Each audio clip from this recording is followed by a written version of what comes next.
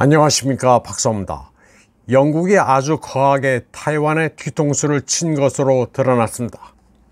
결론부터 말씀드리자면 리즈 트러스가 지난해 5월 타이완을 방문해 挺台抗中 중국에 대항하는 타이완을 지지한다고 해놓고 뒤로는 중국에 군사 장비를 판매하기 위해 로비를 했습니다. 지금 타이완에서는 트러스가 政治雙面人 정치적 두 얼굴의 여자라고 해서 난리가 났습니다. 영국에서 취임 7주 만에 최단명 총리 기록을 세우고 물러난 끈 떨어진 정객이 타이완을 농락했다고 난립니다.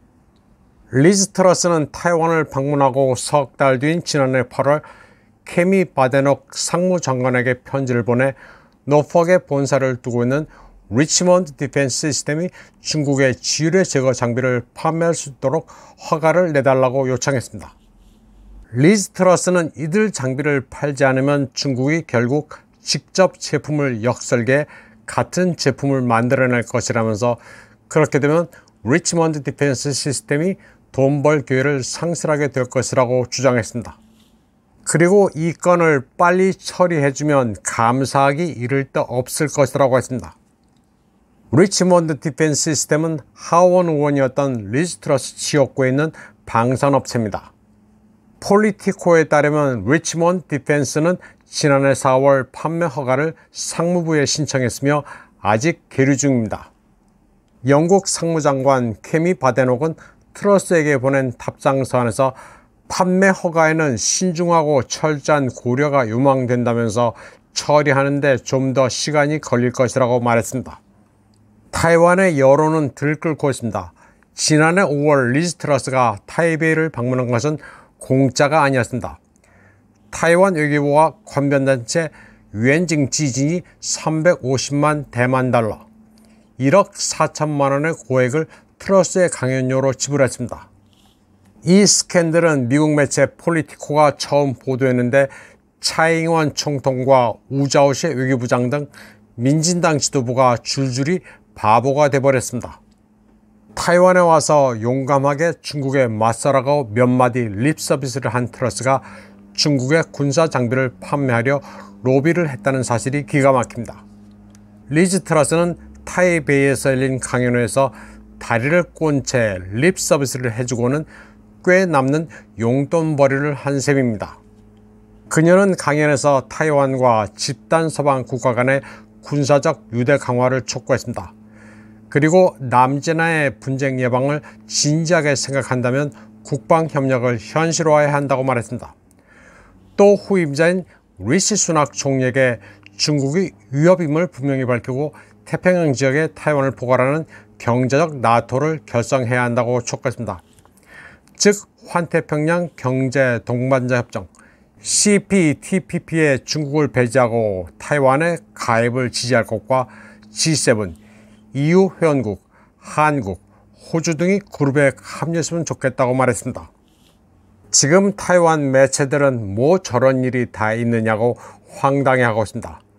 나라가 끈 떨어진 영국 여자 한 명의 농락을 당했다면서 어처구니 없다는 반응을 보이고 있습니다. 영국에서 불명예 퇴진한 리즈 트러스는 타이완에 나타나 중국과의 모든 협력과 대화를 중단하고 해협에서 분쟁이 발생하면 대러 제재와 유사한 제재를 중국에 가해야 한다고 주장했습니다. 그녀는 차잉원 정권에 좋은 말 몇 마디 해주고는 환대도 받고 돈도 두둑히 챙겼습니다.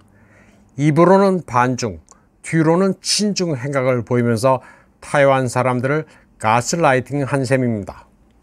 타이완의 군사 전문가로 공군 사령관을 지낸 짱 옌팅은 트러스가 원래는 타이완의 지뢰 제거 장비를 판촉하려 했다고 말했습니다. 그러나 타이완이 이미 미제 장비 M136 볼케노로 기울자 중국으로 눈을 돌린 것 같다고 분석했습니다. 타이완의 여러 정치 평론가들은 차잉원 민진당의 바보 같은 행태에 포화를 집중하고 있습니다. 타이완과 중국의 양다리를 걸치면서 트러스가 타이완인들을 농락하도록 한다는 정권의 무능함이 있다고 거세게 비판하고 있습니다. 그리고 리즈 트러스에게 거액의 강연료를 지불한 위안징 지진도 한 번 털어야 한다고 평론가들은 말합니다. 이 관변단체가 낸시 펠로시, 마이크 폼페오 등 외국 인사들을 초청하면서 돈을 마구 뿌렸다는 것입니다. 그런데 리즈 트러스는 1월 13일 라이칭더가 선거에서 승리하자 축하 메시지를 보냈습니다. 자유가 번영하기 위해서는 민주주의가 필수적이라면서 타이완이 스스로를 지키는데 모든 노력을 다해야 한다고 말했습니다. 타이완인들은 리즈 트러스가 차이잉원의 뺨을 한 대 때린 데 이어 라이칭더도 가스라이팅하고 있다는 반응을 보이고 있습니다. 국민당 부총통 후보였던 짜오사오캉도 원래 하던 방송 사회자로 복귀해 리즈 트러스 스캔들을 다루면서 차이잉원의 민진당 정부의 외교 참사를 두들겨 패고 있습니다. 리즈 트러스가 자기 지역구를 위해 타이완을 배신했다면서 거세게 비판했습니다. 짜오사오캉은 그동안 선거 유세에 고생했는지 얼굴이 좀 삭았습니다. 타이완은 돈 앞에서는 의리도 없는 앵글로색슨의 행태에 경악하고 있습니다. 타이완이 당당하게 중국의 침략 위협에 맞서야 한다면서도 이미 계약한 무기조차 몇 년째 인도하지 않고 있다는 월스트리트 저널 기사에 이미 한번 충격을 받았습니다.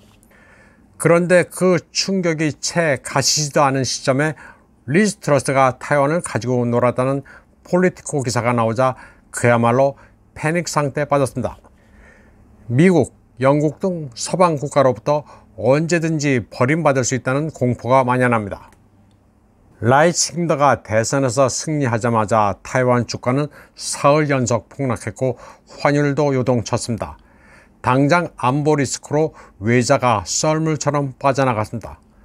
또 중산층의 이민 움직임도 부쩍 늘었습니다. 이미 상류층의 80%는 이민 준비를 마친 것으로 전해지고 있습니다. 가족들의 80% 정도는 그린카드나 미 영주권을 가지고 있습니다. 현재 타이완에 남아 일하는 가장만 유사시 뜨면 됩니다. 한국에서는 그저 타이완인들이 미중사에서 민주주의인 미국을 택했다고 단순히 떠드는 사람들이 많은데 문제는 그리 단순하지 않습니다. 지금까지 전해드린 뉴스로 타이완은 아주 들썩이고 있습니다. 그런데 신기한 것은 한국에는 뉴스 한 줄 없습니다. 한국은 굉장히 이상한 나라입니다. 이번 방송은 여기까지 하겠습니다. 시청해주신 여러분 감사합니다.